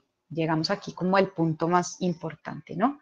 Entonces, eh, si yo soy impulsivo, el reto principal es manejar, ser capaz de manejar los distractores o las tentaciones, porque las, las tentaciones no se van a ir, siempre van a estar ahí. La procrastinación tampoco se va a ir, por lo que ya hemos visto antes. ¿Qué es lo que hay que hacer? Aprender a manejar esos distractores. Entonces, eh, lo primero que, les vamos a recomendar son unos precompromisos. ¿sí? Los precompromisos son claves o resultan útiles a la hora de lidiar con la impulsividad. ¿Qué quiere decir eh, precompromisos? Pues que usted sea capaz de anticipar las tentaciones. Así como cuando en exceso de confianza veíamos esto de prever lo peor eh, para esperar lo mejor, entonces había que hacer una lista de lo que me distrae, ponerla. Bueno, un poco aquí es esa misma lista le va a ayudar a anticipar cuáles son sus tentaciones, ¿cierto? Y si usted puede anticipar sus tentaciones, puede actuar a tiempo para alejarlas o hacer algo. Entonces aquí les vamos a dar tres ideas de precompromisos. Ustedes pueden escoger una, las tres, eh, en realidad es la que más se adapte a ustedes, depende pues de la situación. El precompromiso 1 se trata de aplazar las tentaciones. Recuerden que entre más cerca estén las tentaciones, más fácil vamos a procrastinar. Pero entre más alarguemos el tiempo o entre más alarguemos como el, tiempo de darnos la, la caer en la tentación, más va a disminuir esa, ese deseo como de querer, ¿cierto? Entonces como que voy a comenzar a hacer el taller de diferencial, pero mi cabeza está en, en la serie de Netflix. Lo que nos dice este precompromiso es no, no piense en la serie de Netflix, comience a pensar en el taller, que a medida que siga en el taller, más va a querer estar ahí y menos va a querer ver la serie o la va a querer ver después. El segundo precompromiso es el de las necesidades primero. Este funciona un poco bajo la lógica de que así como cuando vamos a ir a hacer mercado o vamos a ir al supermercado Es mejor comer antes de ir al supermercado para no comprar según el hambre que tengo. Asimismo nos dice esto, un poco, ¿no? Entonces, usted va a procrastinar, mejor dése un poquito de ocio antes de comenzar a hacer sus tareas duras. Bien, este no le funciona a todo el mundo, ojo. El tercero este tercero solo se lo recomiendo a los que son unos procrastinadores, mejor dicho, a los que sacaron 37 o más en su puntuación de qué tan procrastinadores son, y es adquirir compromisos inflexibles. Es decir, desincentívese usted mismo de las tentaciones en las que siempre cae al procrastinar. Ejemplos de hacer eso, apueste con alguien. Siempre procrastina hacer las actividades de matemáticas, apueste con alguien a que no va a ser así en el siguiente taller, ¿cierto? Y haga una apuesta que, usted la sienta, ¿no? No es un bombón, es como una apuesta seria, ¿no? O búsquese un amigo despiadado o un enemigo amigable, ¿no? Que esté todo el tiempo chuzándole y diciéndole, oiga, usted, usted sí que procrastina. Esa, esta estrategia le sirve mucho a los que están en posgrados. Entonces, si se pueden conseguir un par o un alguien que esté ahí chuzándolos para que hagan su investigación, eso puede funcionar. Compromisos inflexibles. Eh, bien, siguiente. Para, estas estrategias, como las vamos a ver ahorita, están pensadas, eh, porque como la, impulsividad es algo que está dentro, entonces vamos a mostrarles las estrategias de forma de cambiar la forma en la que vemos la impulsividad o la forma en la que percibimos las tareas que tenemos enfrente por causa de nuestra impulsividad, ¿cierto? Y aquí les vamos a proponer dos eh, estrategias que funcionan de dentro hacia afuera, es decir, de lo que yo pienso hacia, hacia el exterior, ¿no? Entonces, primero la sensibilización encubierta. Este, ya se los había mencionado hace un momento un poquito, y es imaginar el peor escenario posible por causa de la procrastinación, pero imagínense un escenario tal que, mejor dicho, terminen como eh, expulsados de la universidad, porque eso puede pasar. Si uno, una, una tarea mal entregada es que, ejemplo, tenía que entregar un ensayo y por procrastinarlo terminé haciéndolo toda última hora y sin querer no cité una fuente que tomé. Y al no citar una fuente que tomé, entré en plagio y al entrar en plagio, que a que no adivinan, eso Pili ya no lo he hablado muchas veces de los riesgos del plagio cuando nos citamos, pero eso puede pasar a raíz de, una, de procrastinar un trabajo escrito, por ejemplo. Entonces, sensibilícense a ustedes y digan, quiero terminar expulsado de la universidad, no, listo, vaya a hacer lo que debe hacer. Segundo, si eso no le funciona tanto, entonces haga una campaña de desprestigio ante, eh, mm, digamos que todas esas tentaciones, ¿no? Entonces, póngale características negativas a esas tentaciones. Es como, uy, no, pero es que después hay que darme toda una tarde, no me he bañado, y no, no, no, no, ¿qué tal? No, y después que venga mi, mi primito y me quiera poner aquí la serie que a él le gusta de jueguitos, no. Comiencen a pensar en todas esas tentaciones de manera desagradable. ¿Cómo, las, cómo les podrían poner una característica negativa que los haga no querer ir hacia ella? Eh, bien, ahora pensémonos en estrategias de afuera hacia adentro, es decir, de todo lo que en nuestro exterior, todas esas em, estímulos externos que nos puedan hacer caer en la procrastinación. Entonces, Primera estrategia, controlen las notificaciones. Y cuando hablamos de controlar las notificaciones, es decirles, vuélvanse su propio departamento de publicidad. Es decir, si necesitan silenciar las notificaciones del correo, del WhatsApp, del Instagram, háganlo porque esas notificaciones externas los pueden estar distrayendo de la tarea. En cambio, sí pueden controlar las notificaciones internas que ustedes se hagan, ¿no? Entonces pónganse post-it compren un planeador y pónganselo por ahí, utilicen frases motivadoras, es decir, traten de hacer que sus sistemas límbicos no vean otra cosa más que el tener que hacer la tarea, ¿cierto? Porque no hay distractores o tentaciones que los hagan caer tan fácil, porque ustedes mismos controlan qué notificaciones quieren que les llegue. Bien, em, perdón, lo segundo, esto siempre se los recomendamos porque de hecho no solo sirve para evitar la procrastinación, es básico para el aprendizaje que tengamos ambientes físicos agradables, ¿sí? Ojalá si pudieran destinar un único espacio para las actividades de estudio, así sea el mismo puesto en la mesa del comedor siempre, en ciertas horas. ¿cierto? Pero traten de tener como lugar específico y háganlo ameno, que sea ventilado, que sea iluminado, que ustedes puedan estar sentados en la posición correcta, que son 90 grados con la espalda y las piernas, pies en el suelo, eh, si necesitan ponerse tareas, tareas, es decir, hagan que el ambiente físico también resulte tentativo para evitar la procrastinación.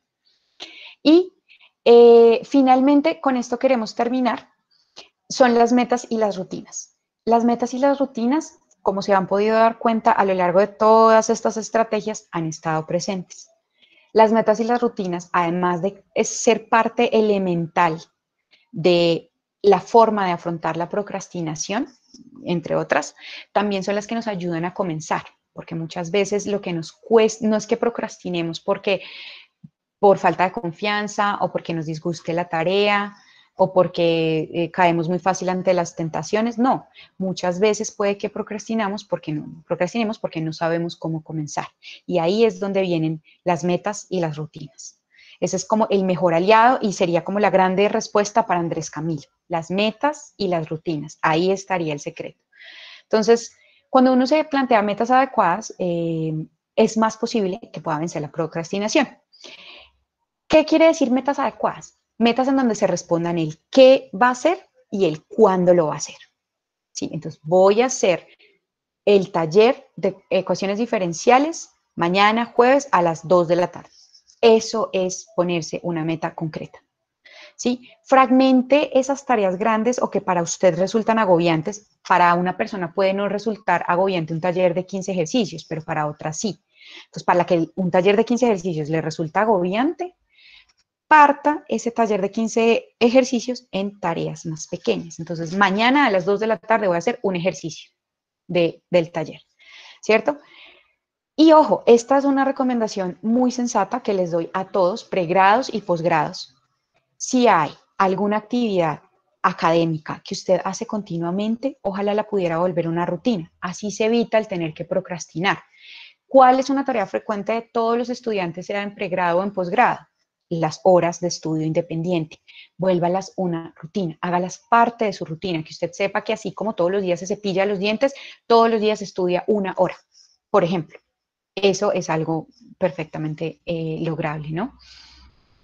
Además, Steve nos refuerza esta idea de las metas contándonos que las personas que establecen submetas, es decir, vamos a poner el ejemplo del taller de ecuaciones diferenciales, 15 ejercicios, esa sería la meta. Pero si yo para lograr esa meta me pongo submetas, voy haciendo de a dos ejercicios diarios, es más seguro que eh, mm, la logre más fácil, ¿cierto? Porque voy a trabajar el doble de tiempo, porque voy a estar el doble metido ahí involucrado que quien no lo hace. Y esto aplica también para entornos laborales, para que lo tengan en cuenta cuando entren a un entorno laboral o si ya están. Bien, mm, lo otro es, mm, en cuanto a metas, piénsense las metas, eh, o funciona muy bien más bien, hacerse metas diarias, porque son eficientes y son prácticas. Propónganse tres metas diarias, ¿sí? Para quienes no saben cómo comenzar, también les recomendamos esta técnica de los 10 minutos, que muchas veces se las hemos recomendado, que es que por 10 minutos se propongan trabajar en esa actividad que tanto están procrastinando. Si somos capaces de perder 10 minutos frente a una pantalla haciendo literalmente esto, como lo estoy haciendo yo, ¿cierto? Somos también capaces de por 10 minutos concentrarnos en una tarea que estamos procrastinando. Y si todavía la estrategia de los 10 minutos no funciona, entonces piénsese en cuotas de productividad.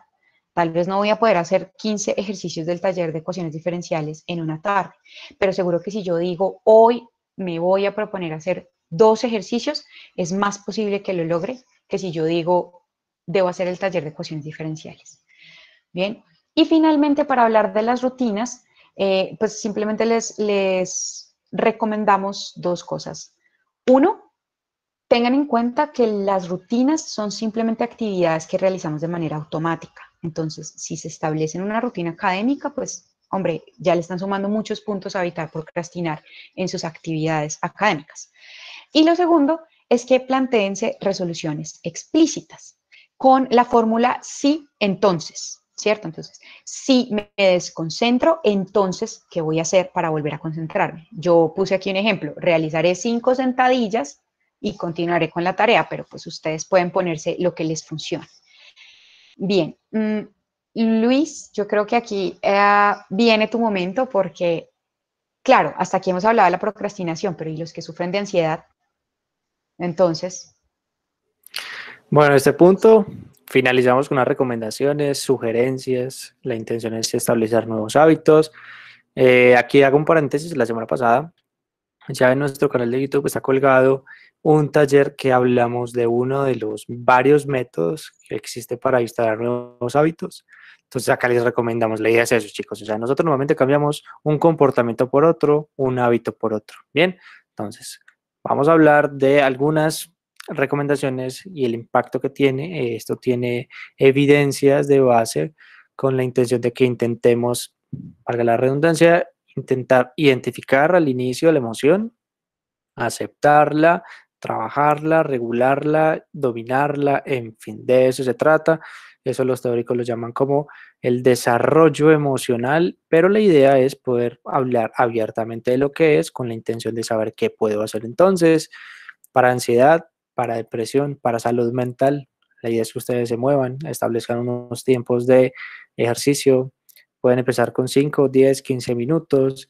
Si ya tienen un diagnóstico base por ansiedad, se recomiendan que sea eh, algunos ejercicios que no activen, por así llamarlo, el cardio, lo que conocemos como cardio, bien, porque en algunos casos pues, puede ser un predictor o un disparador para la ansiedad, pero movernos en general, hacer cualquier actividad física, segrega algunos neurotransmisores encargados no solo para, en el caso de la eh, dopamina, que está conectado con esta necesidad, gusto de realizar las cosas, y cuando estamos en dopamina, cuando se segrega este neurotransmisor, se pueden generar otros como eh, la adrenalina que conecta los músculos para que tengan una tendencia a la acción y por ende cuando realizamos las cosas y sentimos que estamos a gusto, eh, se refuerza con la serotonina que están cargadas más con el placer, con la recompensa. Entonces si nos movemos 10, 15 minutos para empezar y establecemos unos horarios en particular, funcionará muy bien. Esto como primera recomendación. Segunda, eh, Auri, porfa meditar. Eh, algunos lo escuchan mindfulness, puede ser orar, puede ser meditar, en fin. La idea es que ustedes se vuelvan familiares con, con ustedes mismos, con lo que les pasa, con su corporalidad, con lo que están sintiendo. Si ustedes ya se preguntaron hoy cómo están, cómo se siente, qué les duele, qué los angustia, cuáles son sus pensamientos, son positivos, negativos, son viejos, son nuevos, todo este tipo de dinámicas va a funcionar un montón. Se sabe que algunas personas que cuando intentan instalar estos nuevos hábitos con la intención de eh, reconocerse, bien, que la meditación es un ejercicio de eso, de saber quién soy aquí y ahora, reduce eh, un alto porcentaje, pues estas emociones asociadas con síntomas de ansiedad, casualmente, eh, este 70 o 70% de mejoría. Es incluso el porcentaje también que se tiene cuando yo inicio un tratamiento psicológico y farmacológico adecuado. Si bien esa es la última recomendación, debería perfectamente o podría ser una de las primeras, pero si yo quiero intentar meditar, orar, respirar un poco que viene conectada con la siguiente, pues la idea es eso, que ustedes también saquen algunos espacios, recursos hay un montón. Si quieren nos escriben por interno y les podemos mandar un listado de aplicaciones, canales de YouTube, hay muchos, ustedes se darán cuenta que me gusta más la voz de aquella, me gusta más las visualizaciones o meditaciones de aquel, de este programa, de esta aplicación y demás, pero siempre es bueno intentar eh, desactivar, por así llamarlo, este sistema simpático, que es el que nos mantiene alertas, y activar más bien el, el, parasimpático, que está conectado con el sueño y con estos estados de tranquilidad y demás. La meditación funcionará muy bien. Investigaciones nos han comprobado que personas que no tienen ese sistema límbico tan activo en la parte emocional mejoran la calidad del sueño, memoria, y por ende eh, la recuperación de la información y los estados emocionales tiende a ser mucho más efectivo. Auri, tenemos en la tercera, y ya lo hablamos, tómense un segundo en el día, eso perfectamente puede ser una pausa activa, paren, observen lo que están pasando, qué pensamientos tengo, qué emociones, cómo me siento, estoy bien, qué necesito, qué requiero, cómo estoy, respiren.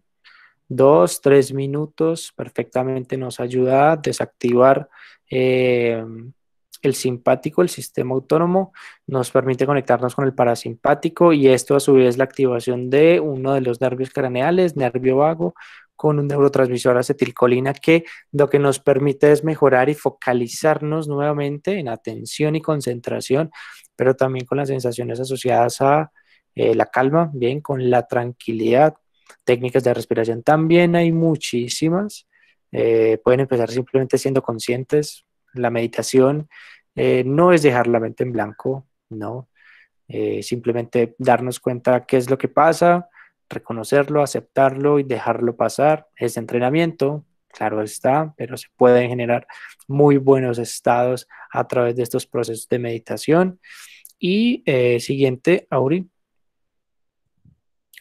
Y si ponemos un ejemplo, eh, bueno, les voy a explicar varias en dos o tres segundos. La primera es eso, ustedes sean conscientes. Una de las que se conoce normalmente es la respiración abdominal o diafragmática, como lo llaman algunos.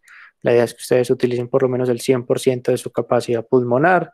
Lo ideal es que, por supuesto, se llene no solo la parte superior del pecho, sino también, digamos, lo que el ombligo. Ahí nos damos cuenta de que técnicamente estamos eh, inhalando y exhalando con toda nuestra capacidad pulmonar, pero eh, algunas otras investigaciones nos muestran que el proceso de la exhalación es mucho más crucial para controlar las emociones. Por ende, la técnica 478 nos invita a inhalar por 4 segundos, retener por 7 segundos y exhalar por 8. Se dan cuenta que el tiempo es el doble en la exhalación que en la inhalación y lo que busca es justamente eso, que por cada exhalación ustedes puedan eh, encontrar mayores beneficios en esta técnica en particular. Lo pueden utilizar antes de dormir, sencillo. 4, 7, 8, inhalan 4, retienen por 7 y exhalan 8 y se van a dar cuenta que cada uno de sus músculos pues van a sentir esta ya no van a estar contraídos por ende pues se pueda eh, activar fácilmente pues algunos otros eh, sistemas cerebrales que están conectados con el sueño. Eh, siguiente Auri, porfa. Y esta, como les mencioné hace dos o tres segundos, debería ser la primera. Si ustedes se dan cuenta que cumplen con algunos indicadores para ansiedad, para depresión, por estrés, bueno, qué sé yo, siempre será importante pues, asistir de manera, eh, lo ideal sería voluntaria, bien, pero si ahorita hablamos como de esa presión social positiva o de esos amigos que también nos permiten establecer y cambiar los hábitos, si asistimos, como se conoce comúnmente, a dolores físicos donde un médico, pues aquellos que son un poco más somáticos, aquellos que ya vienen con esta estructura eh, mental, por así llamarlo, o están relacionados con salud mental, pues no está de más recibir valoración, tratamiento por parte de un profesional en salud mental, porque establecer, digamos, lo que está alianza entre los dos profesionales, psicólogo y psiquiatra, eh, pues podemos eh, reducir tratar de manera efectiva pues algunas sintomatologías asociadas con trastornos en la salud mental, que hay muchos, hay una proporción bastante alta, y pues este, estos términos de la pandemia, incluso antes, la proyección para, para el año 2020, desde el 2003 se hablaba que eh, más o menos el 40-46% de la población pues tuviera unos diagnósticos en Colombia o sea que no está de más pegarnos un chequeo y asistir directamente como a los profesionales encargados. En el caso de nosotros, dirección académica, como ustedes han escuchado, pues hacemos mucho énfasis en lo que tiene que ver con esta psicología y este trabajo relacionado directamente con la parte pedagógica académica. Por ende, pues los temas, las temáticas van en relación con aprendizaje y todo lo que hay detrás, pero Seguramente ustedes también conocen que existe otra dependencia, bienestar universitario, que nos puede brindar también estos apoyos y estos asesoramientos en salud mental y demás. el correo por parte de la dirección académica o del sistema de acompañamiento cae-man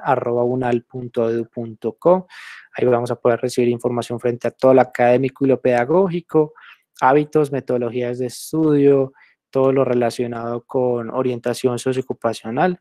Ahorita nuestras compañeras también del programa de UNALE nos dejarán sus contactos para continuar con estas capacitaciones y formaciones en esta temática en particular, pero bienestar universitario, bienestar guion bajo man, también por correo electrónico podemos estar pendientes, en contacto, para que nos puedan brindar también estos apoyos en salud mental. Habiendo dicho esto, eh, compañeros, dudas, inquietudes, sugerencias, retroalimentaciones por parte de ustedes, es el momento de hacerlas. Eh, nosotros preparamos esto con mucho gusto, con mucho cariño, y la idea es que tenga la misma receptividad. Andrés. Bueno, en cuanto a la salud mental, eh, digamos que yo en este momento estoy en un ámbito en el que se, ve mucho la violencia, digamos, psicológica, la violencia verbal. Eh, entonces, es complejo poder uno despertar y, estar como en un lugar en, el que, digámoslo, hay una tranquilidad. Eh, bueno, llego a la conclusión que es necesario como apartar de, de eso, ¿cierto? Buscar un lugar tranquilo. Pero, ¿cómo podríamos nosotros como eh, estudiantes adaptarnos o buscar la, la, forma de, de, que ese lugar se haga un poco más ameno? Pues ya, ya está muy claro que, debemos como buscar esos espacios. Pero las personas que estamos obligados a estar en esos espacios, ¿qué podemos hacer? Bueno, esa pregunta es bien interesante.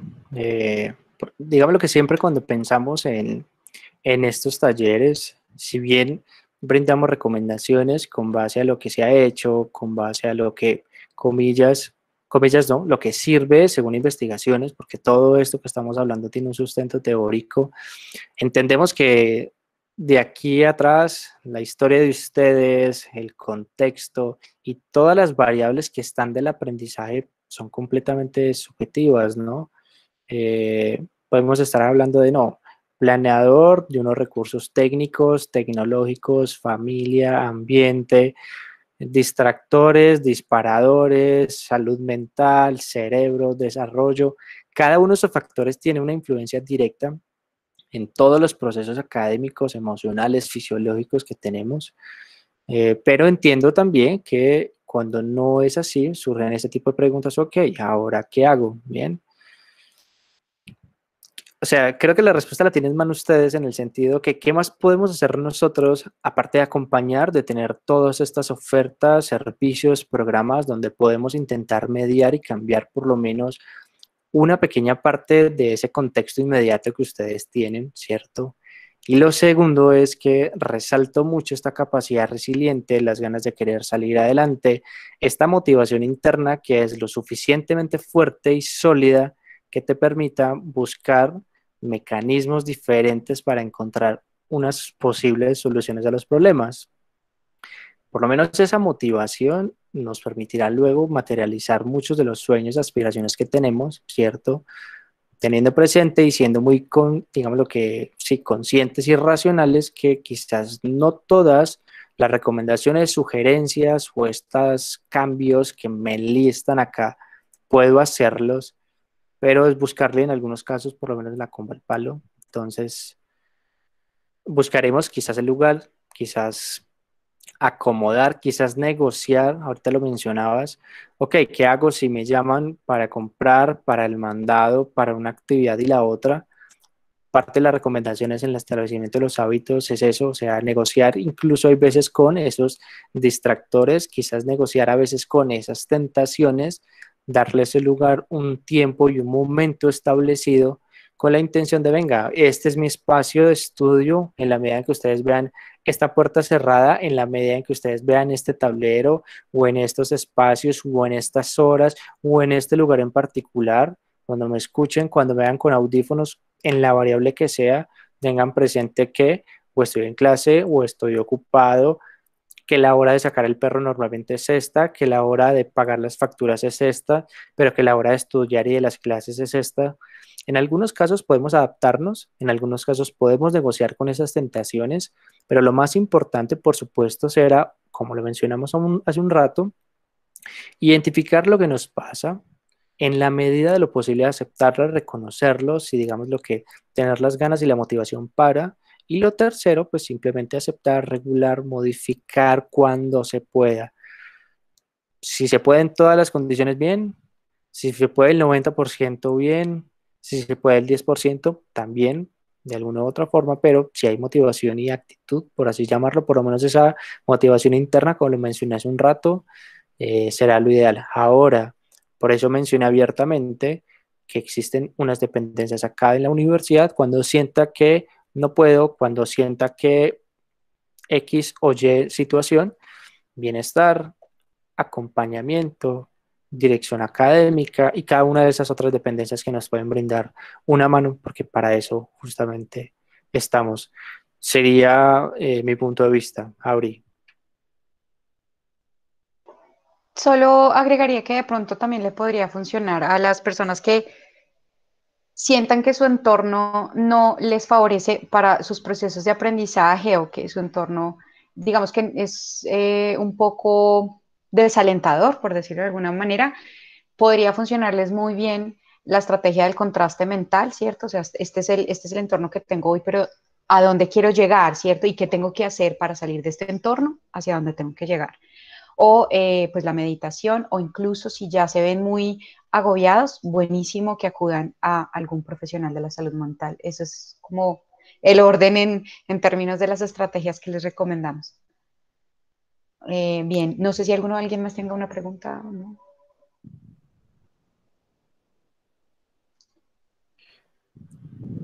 Bueno, parece que no. Parece que no, parece que todo está claro. Eh, recuerden la lista de asistencia, recuerden que existe canal de YouTube donde pueden encontrar este y otros talleres. Eh, gracias a todos, las personas que se conectaron, la que nos van a ver luego en diferido por otras redes sociales, plataformas y demás. Auri, gracias, compañeras del programa también. Un abrazo para todos, que estén muy bien. Saludos. Muchas gracias a todos eh, por haber estado en la conferencia, sobre todo a Luis Carlos, Aura María, por la maravillosa conferencia y a los estudiantes los invitamos a nuestra próxima charla que se dará el 17 de marzo y será sobre el uso efectivo de bases de datos. Entonces, gracias por participar hoy y esperamos la misma participación en las próximas conferencias. Muchas gracias.